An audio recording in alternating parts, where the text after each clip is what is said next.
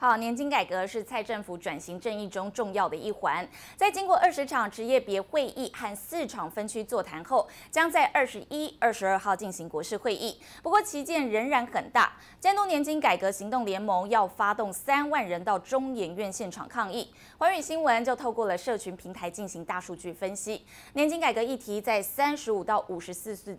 岁间讨论度最高，到有超过五成的关注度。至于六十五岁以上，因为是改革直接冲击的族群，也成为此议题中粘着度最高的关注群。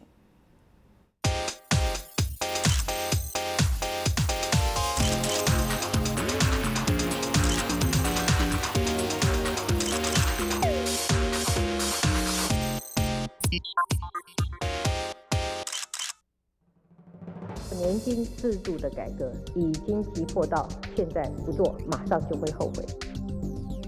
从去年六月三号年改会第一次开议，蔡文坚决年金改革势在必行。经过半年多，历经二十场年改会议，四场北中南东分区座谈，加上二十一、二十二号年金改革国事会议在即，但年金改革争议仍旧持续。八十四年以前退休的，那以他现在的退休金来讲，事实上是很少，而且。他也只有靠这个十八趴在生活。劳工呢的劳保的提拨比例也要提高哈，那就形成了劳工呢要缴多领少。还要延后退。年金改革是蔡英文政府转型正义重要一役，也是蔡英文施政中最棘手的一环。改革不仅牵涉军工教十八趴优惠定存，甚至秦岭年龄也要延后到六十五岁。在历经编码政府失败收场，蔡英文还想在一年内有显著共识，困难度自然不在话下。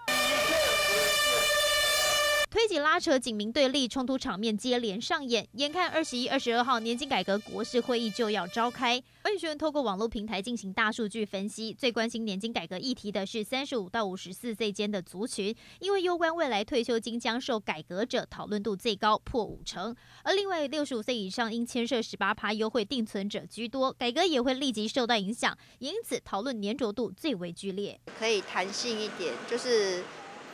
多一点长期的规划，然后真正去评估每一个人的生活状态。觉得退休金领的太多了，对啊，变成是说很多事情没有钱可以去实施这样子。六十五岁才能领到的话哈，那很多人如果提前退休怎么办？经过一段时间哈，大家能够哈有一个共识。比较好一点。随机街访民众普遍认为，年金改革牵涉层面广大，蔡政府应三思。随着各地冲突四起，各职业别开始发生。根据网络数据分析，普遍讨论性别比男性对比女性为八比二，先见男性网友对于话题热衷度。年金政策牵涉世代公平正义，这烫手山芋，蔡英文政府怎么改革，又是另一个困难战场。换选严俊强、蔡继林台北报道。